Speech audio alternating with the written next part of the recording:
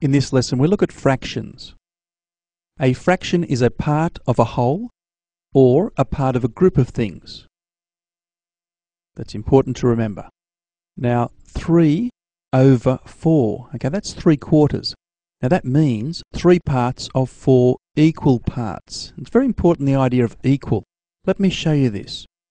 Let's say this diagram here, we can see that 1, 2, 3, 4, it's broken up into 4 equal parts. So we can see that three of those are shaded. So that's why it's three quarters. What about this diagram?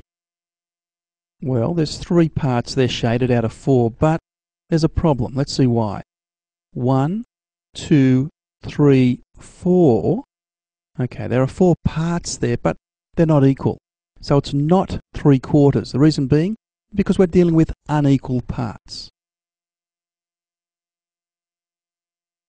Now, 3 over 4, okay, 3 quarters. Let's see what each part means. Let's write that down.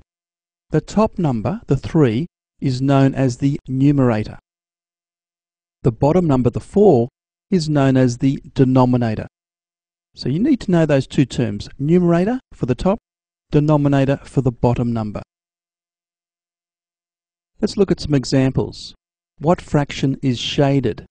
In part A we have a circle split up one, two, three, four, five, six, seven, eight. Eight equal pieces, so it's going to be out of eight, all right, over eight. Now, how many are shaded? One, two, three, four, five. So the top number, the numerator is five. Five over eight. We say that as five eighths. Our next example there, we've got a rectangle here split up into one, two, three equal parts. So it's going to be over 3. Okay, 3 will be the denominator, the bottom number. And simply we have one of them shaded. So it's going to be 1 over 3. And that is said as one third.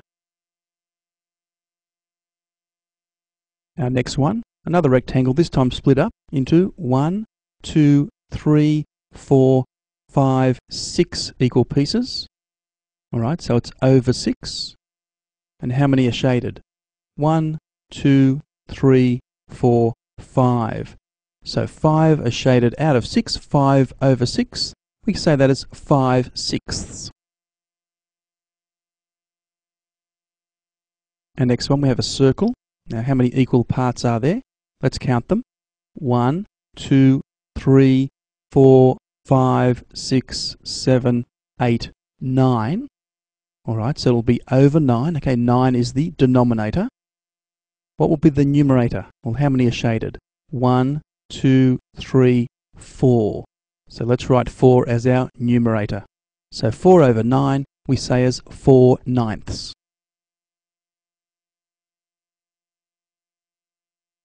Now, our final example, a lot of bears here, okay, a few different coloured ones.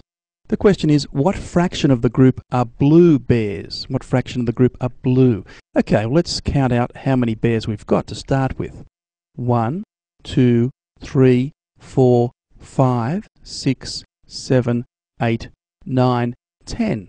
We've got 10 bears, so we're going to write over 10, okay? It's out of 10. Now we're interested in the blue bears. Well, how many have we got there?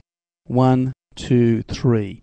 So the fraction is 3 over 10, and we can say that as 3 tenths.